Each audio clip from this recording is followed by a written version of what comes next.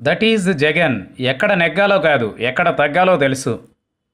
ఎక్కడ నెగ్గాలో కాదు ఎక్కడ తగ్గాలో కూడా జగన్కి బాగా తెలుసు. అందుకే ఆయన ఇప్పుడు తనలోని మరో కోణం చూపెడుతున్నారు. మంత్రివర్గంలో స్థానం కోల్పోతున్న వారితో తానే స్వయంగా సమావేశం కావాలని నిర్ణయించారు.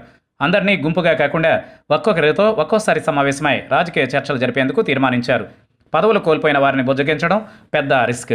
అప్పటి వరకు పదవిలో ఉండి కారణం లేకుండా అందరినీ ఒకేసారి తొలగిస్తున్నారనే అపవాదు సీఎం జగన్పై ఉన్న ఆయన మంత్రిమండలి ప్రమాణ స్వీకారం రోజే ఆ విషయంలో క్లారిటీ ఇచ్చారు. కాబట్టి మాజీలు అవుతున్న తాజా మంత్రులెవరూ పెద్దగా ఇబ్బంది పడడం లేదు. అయితే ఒకరిద్దరు వీలైతే నలుగురు మంత్రులు జగన్ బి టీంలో కూడా కొనసాగుతారు కాబట్టి అక్కడే తేడా వస్తోంది. దీంతో కొంతమంది అలిగే అవకాశం ఉంది. దానిని ముందుగా గ్రహించిన జగన్ వారందరితో సమావేశం కావాలని నిర్ణయించారు.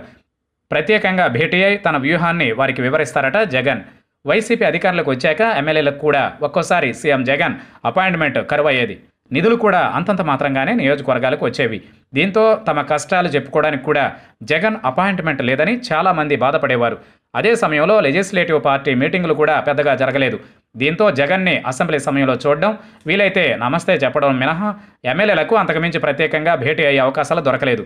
అయితే ఇప్పుడు నేరుగా మంత్రి మండలి నుంచి వెళ్ళిపోతున్న వారితో జగన్ ప్రత్యేకంగా భేటీ కావడం మాత్రం విశేషం.